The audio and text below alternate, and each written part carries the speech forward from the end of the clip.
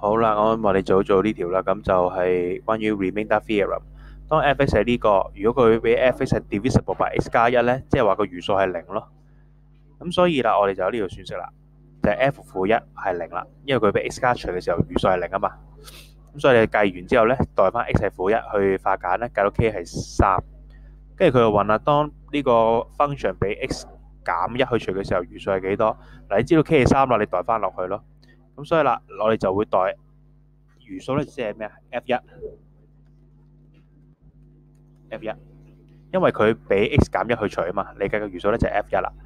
咁 f 一即係咩意思啊？x 變曬做一咯，代晒落去，咁你計到餘數咧係二啦。